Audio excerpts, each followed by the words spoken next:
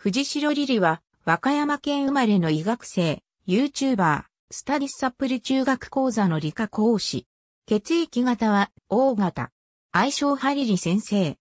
2018年4月に大学進学のために上京するまで出生地の和歌山県で過ごす。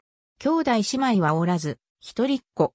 小学校から12年間、智弁学園和歌山に通い、高校時代は夏の甲子園でチアリーダーとしても活動した。2018年、東京医科歯科大学医学部医学科へ進学。大学では、軽音部に所属し、ドラムを担当している。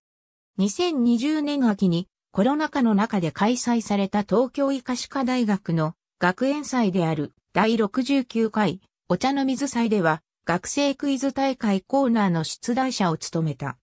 YouTuber として大学2年生の2019年11月25日に地方受験生への情報発信を目的として YouTube チャンネルを開設。